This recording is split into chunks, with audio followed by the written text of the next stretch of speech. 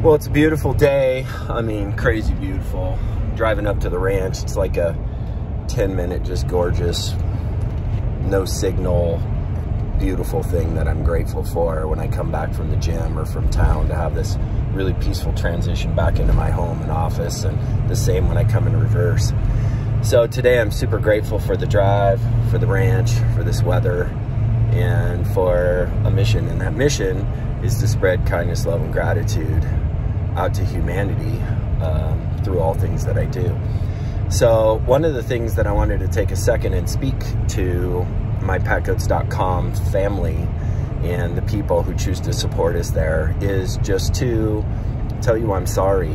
Um, we have had just an absolute difficult time since kind of the COVID supply chain issues, as well as trying to scale the growth of the company to keep up with inventory and shipping and fulfillment.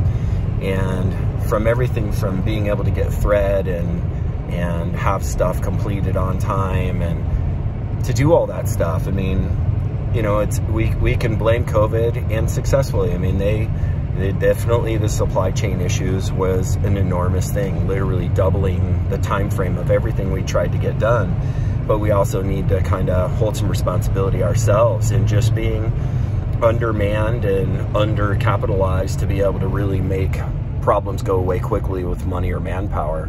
And so we did our, our best and we fell short. Um, we consistently this summer shift, shipped lots of items, two to three months delayed. And I'm just not okay with that. And I'm asking for your forgiveness we are working so diligently and have been for about nine months to make sure that never happens again and at great cost and vulnerability. We have shifted all our manufacturing to another facility uh, for our high volume stuff. And some portions of the assembly and shipping and receiving and fulfillment and customer service is still out of that same facility.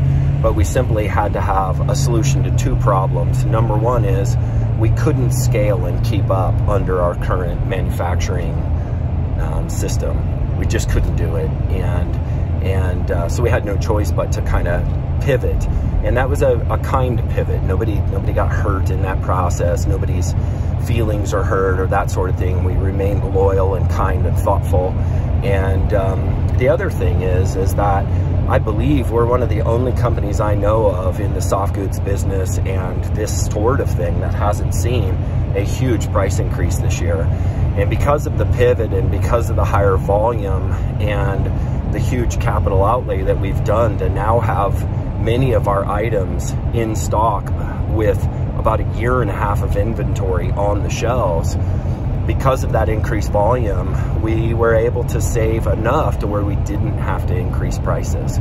And I'm super, super proud of that because the pack Goat community in general and the goat community have a tendency to be people who have chosen that animal because they're more affordable and they're cost conscientious people.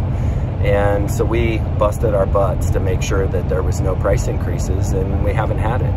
Um, not only that, we now have five of our most popular items stacked on the shelves ready for a year and a half of availability.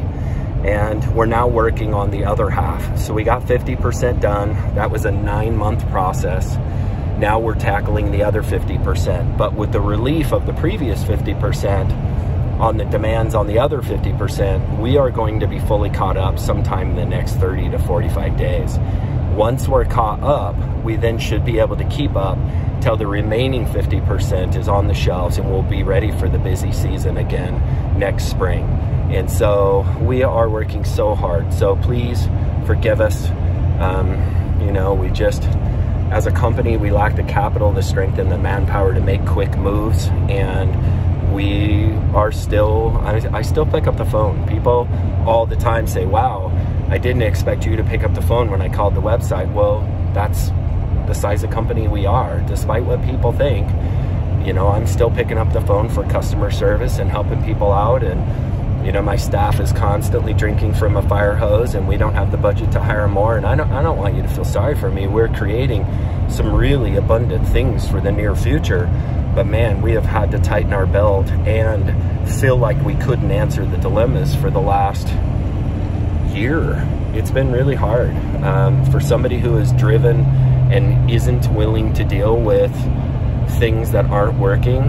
Boy, I had to really learn some new ways. And so, you know, hopefully, you know, we didn't hurt too many feelings and hopefully um, we went the extra length with those that were inconvenienced. I know we did. Um, and, um, you know, we, we hope to continue to do our best to always earn your business because we don't just arbitrarily deserve it. Um, we need to earn it as a company. And the other thing I want to say is that as a motto for this company has always been help people first, bring value, big, bring kindness, bring awareness, help goats, help people, help pack goats. And then when we've accomplished all those missions, abundance in the form of money will always show up. And it has, and it is, and it's continuing to, to happen. And, and I do see an abundant future for us. We've really worked our tails off. And um, I hope you'll continue to support us through all of that. So, my main message is I'm sorry we fell back a little, and we are doing our best to catch up we are doing our best to be progressive about making sure that never happens again. And I just want to express my deep gratitude of your willingness and patience in these times to stick with us as a company and root us along. And I'm just super deeply grateful for all those out there that support us. So thank you so much.